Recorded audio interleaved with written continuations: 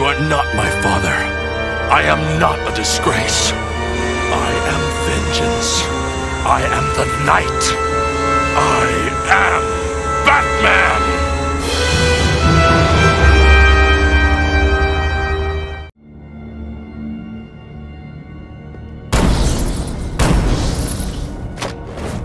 I am vengeance.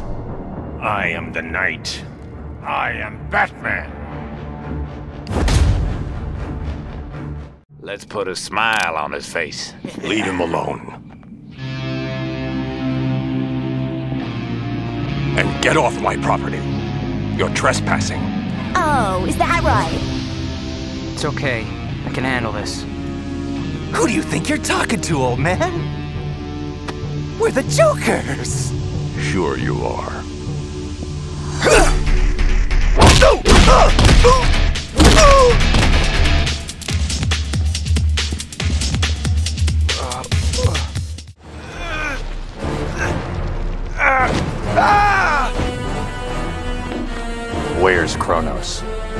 Getting tired. I can't believe I was ever that green.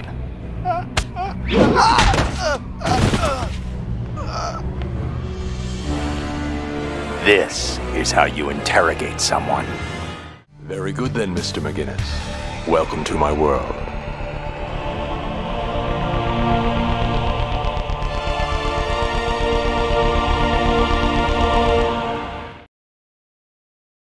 It wasn't just a voice actor that died today. It was Batman himself. But unlike Batman, Kevin Conroy was no urban legend. He was real. He was the legend.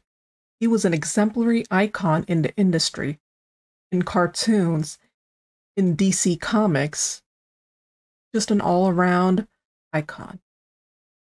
He passed away today at the age of 66. It looks like cancer was the cause of death. I had I did not nec- I did not know he had cancer specifically, but I do remember him saying that he was struggling with some health issues that caused him to cancel a couple of conventions. This poor dude was still doing conventions though before then for his fans because that's how much he his fans. It seems like cancer didn't impede his ability to make his own fans happy, respectable. I still can't believe he's gone. it took me a while calm down, collect, and hope and pray that it was just a false alarm, a death hoax, if you will. I tend to come off as unfazed, usually, I'm not gonna lie, and somewhat maybe cold to other people, no towards like notable figures, like for example, Betty White and um, Queen Elizabeth dying. Um, I'm also not really a movie buff or anything like that either, so that's probably also another reason. I try not to be cyni- cynical about it either, though. This one ripped my heart out, though, and not just ripped it out, stomp- ripped out into pieces, stomped on, and set a flamethrower on. This man wasn't just part of my childhood. He, throughout when I was growing up, I was playing the games, I was reading comics, huge comic nut. I was six years old, and I feel like I'm six years old again throughout my childhood, staying up night, uh, watching Batman reruns, the animated series, and Batman Beyond at nighttime, especially on Toonami. And every morning before I went to school, it would be on on Cartoon Network. I remember just thinking the show was just so cool and loved his voice. The show was nothing like the other cartoons that everyone was raised up in and on Cartoon Network, so it was very different. How intimidating he came off as Batman and very smooth and suave as Bruce Wayne. Even back then, I thought that was really cool that he would switch voices. I can't tell if I prefer Batman Beyond or the animated series, but I would say Batman Beyond by a margin because there was just something so cool seeing an older Bruce Wayne where Kevin Con- Conroy was more of a supporting actor, but he still killed it. he had such a great light on the show itself. Um, and it wasn't just because I had a crush on Terry, but that's just neither here or there. Um, even as Batman, he was on screen. Conroy delivered it, and every scene with him was a gem, something that you should never skip because, come on, we loved an older Bruce Wayne, and um, and I do like how he even changed his voice slightly, um, according to the tone of his voice. I mean, ac- according to the tone of the show, um, which only shows his range, uh, where he doesn't, where he doesn't have to like reuse how he did Batman animated series. So it's really impressive. It's interesting look because looking back, I actually enjoy both those shows a lot more in adulthood. I just feel like they've aged incredibly well. The writing and the voice acting, it's a lot better than most shows and most of the animated movies these days. Let's be real, I'm not a fan of most of the new voice actors. There's just maybe one or two um, that are good, but none of them will be Kevin Conroy. He is the Bat.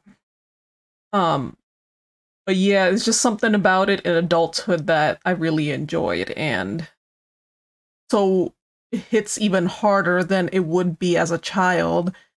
It it's my entire childhood, and it's put to an end.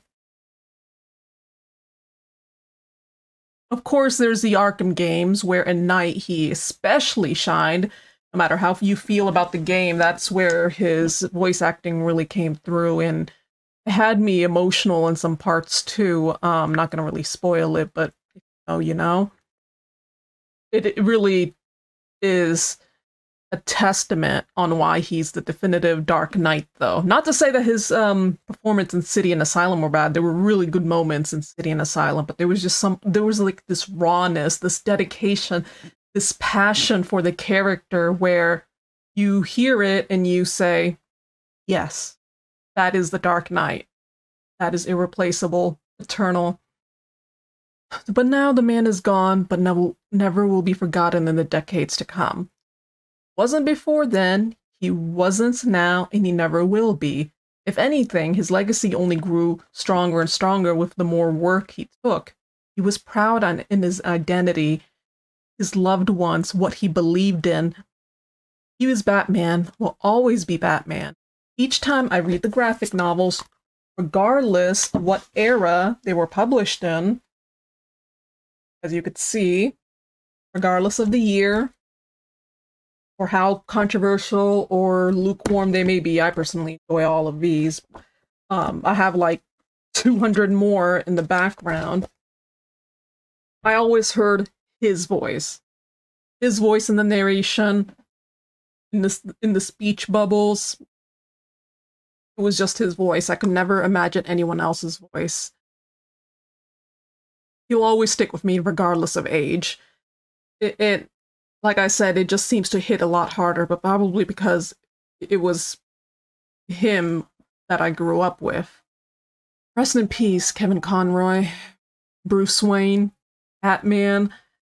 No other voice actor will compare, though they'll continue on with your legacy. I would hope so. Cancer may be the way Kevin died, but his legacy never will. He's in heaven with Adam West and hopefully in a very cozy bat cave where he's enjoying unlimited coffee and some more sleep, more than what you can say about Batman and, you know, his universe. My condolences to the family, friends, colleagues. I remember something that Scarecrow said in Arkham Knight, how he exemplified the bat perfectly, and now it could be applied Kevin Conroy. What is it that he said? Hope is the spread wings of a bat shining in the clouds. Thank you, Kevin Conroy. Thank you so much for everything. Even as a 27 year old, you'll never be forgotten. Your legacy will carry on. You may be departed, but your legacy will always be alive to me, the Batman and as a person too who cared about his fans. Thank you so much.